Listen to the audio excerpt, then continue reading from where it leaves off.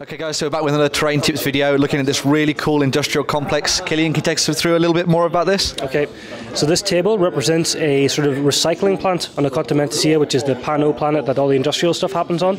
It's different from the other ones in that there's a lot of high terrain on this table. So we've got these catwalks. They have long lines of fire this way down the board, but short across with all this armor that's been placed on, which means it's really good for flanking the enemy.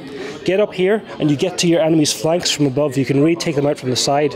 At the same time, though, anybody coming at you this way is going to be able to shoot you right down along your front, and you're going to go very, very quickly. You might not survive too long.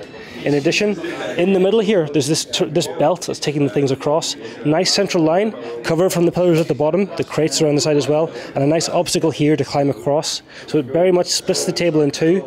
This up on the top provides nice points of fire, etc. And this is a point to attack the enemy, maybe with template weapons, smoke grenades, things like that. This is an interesting one to play for. Quick movement between here, long lines of fire up here, and then lots and lots of flanking attack. Very good one to play on.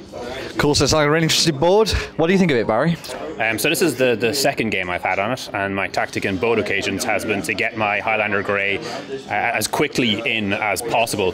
So the, the first time he charged up here, uh, got to here with one of the Ketsubutai, unloaded with both of his uh, light shotguns at close range for a plus six bonus, and got shot in the face. Um, luckily, luckily he had dogged, so he didn't go down. So he could, uh, I could keep using him until my turn ended, and I had a couple actions left. So I kept shooting, and I kept shooting, and I kept shooting, and the Ketsubutai was just like, no, not happening until the, the Highlander Grey went down.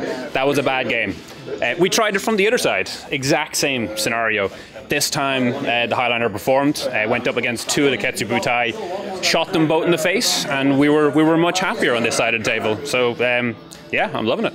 So it's like some really cool stuff has gone down on this table. Uh, we'll be back with some more impressions later.